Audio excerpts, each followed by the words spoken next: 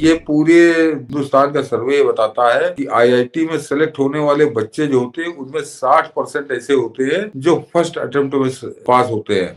कि 2017 में दिल्ली के तीन सौ बहत्तर बच्चे सेलेक्ट हुए। ये ये आप समझिए, लेकिन उसमें एक शर्त थी आईआईटी में सिलेक्शन इसकी कलाई खोल रहा है कि किस तरह इसने सत्यानाश किया है दिल्ली की शिक्षा का जहाँ 3.4 परसेंट लड़के सेलेक्ट हो रहे थे, वो घटकर अब 1.5 पर आ गए और ये उसको अपनी उपलब्धि बता रहा है। इसके सतहत्तर परसेंट गेस्ट टीचर नाकाबिल हो, निकम्मे हो, और वो बता रहा है कि मैंने दिल्ली की शिक्षा व्यवस्था को वर्ल्ड क्लास बना दिया तो ये अपने आप में कितना बड़ा झूठ बोलकर कैसे लोगों को बरगला रहा है। अब जरा मनीष जी, एक बड़ा ये सिगुफा बनाया है, पूरे देश में सिगुफा बनाया है, और वो जो जिसको कठपुतली मुख्यमंत्री बना के बैठाला है इसने दिल्ली में, ये पूरी आम आदमी पार्टी उसका भजन गा रही है। और वो जो अभी नया नया बोझा या कोचिंग चलाने का धंधा करता था जो, वो सब लोग एक स्वर से बता रहे हैं कि मालूम है दिल्ली के गवर्नमेंट स्कूल के दो सौ बहत्तर बच्चे जो है, दो सौ छिहत्तर बच्चे उसमें सेलेक्ट हुए आईआईटी में सेलेक्ट हुए जो कभी नहीं हुआ। ये इस तरह से बता रहे हैं कि जैसे कोई बड़ा उपलब्धि इन्होंने हासिल कर दी। तो मैं जरा इसके आदावों की अब जरा धज्जियाँ उड़ाता हूँ कि इसको तो कायदे से दोषी मानना चाहिए कि इसने उसको घटा दिया जो, जितने बच्चे वहाँ पर सेलेक्ट होते थे। मनीष जी, ये ये पूरे हिंदुस्तान का सर्वे बताता है कि आईआईटी में सेलेक्ट होने वाले बच्चे जो होते हैं, उनमें साठ परसेंट ऐसे होते हैं जो फ़र्स्ट अटेम्प्ट में उसको पास होते हैं। अन्यथा बाद में जो चालीस परसेंट है, वो दूसरे, तीसरे अटेम्प्ट में उनका सिलेक्शन होता है। ये ये पूरे हिंदुस्तान की स्टडी है। लेकिन मनीष जी, इसका जरा, ये, इसके सारे कपड़े उतर जाएँगे कि ये बता रहा है कि दो सेलेक्ट हुए। तो अब की दर्शक ये समझ लें कि अब की सीटें थी सत्रह सात सौ चालीस।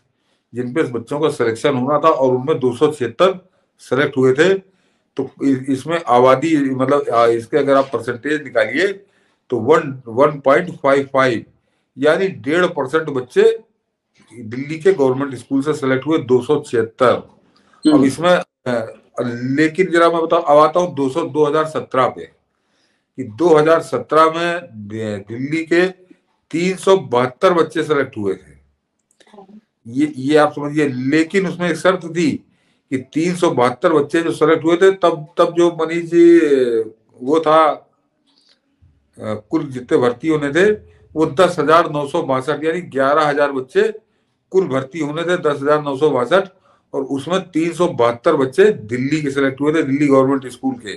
और उनका परसेंट वो परसेंटेज अगर आप जोड़िए तो थ्री पॉइंट फोर ज़ीरो होता है। तो ये जो three point four zero percentage था उससे घटाकर 1.5 पे ले आया यानी आधे से भी कम पर ये ले आया है उस परसेंटेज को दिल्ली गवर्नमेंट स्कूल के बच्चों के सिलेक्शन का।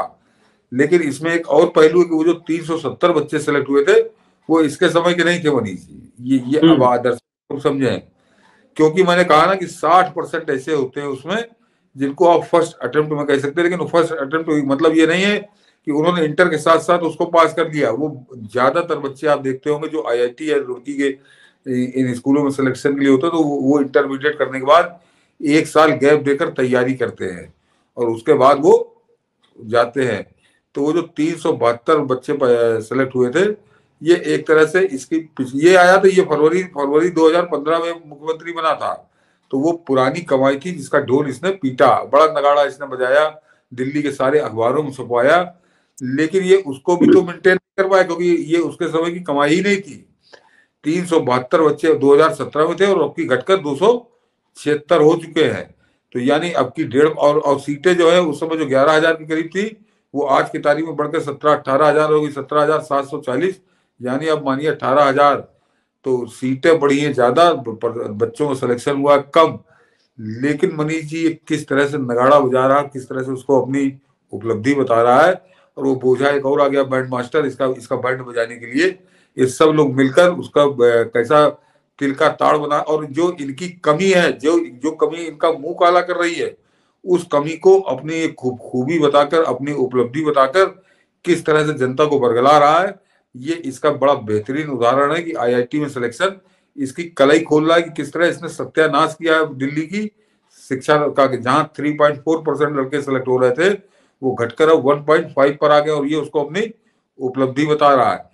और इसके अलावा एक तो वैसे भी समझ लीजिए कि किस तरह से सत्यानाश किया कि वो मैं अक्सर ज़िक्र करता हूँ कि इसके जो गेस्ट टीचर थे वो जो एग्ज़ाम में बैठे थे कि, कि टीचरों को टीचर की जगह उनको पोस्ट किया जाएगा तो उसमें सतहत्तर परसेंट बच्चे वो फेल हो गए थे वो जो टीचर थे। तो जिसके सतहत्तर परसेंट गेस्ट टीचर नाकाबिल हो निकम्मे हो और वो बता रहा है कि मैंने दिल्ली की शिक्षा व्यवस्था को वर्ल्ड क्लास बना दिया तो ये अपने आप में कितना बड़ा झूठ बोलकर कैसे लोगों को बदला रहा है, ये इसका उदाहरण है। बिल्कुल, और इसीलिए हम सबको सजग रहने की ज़रूरत है कि किस कदर का फ्रॉड ये फैला रहा है।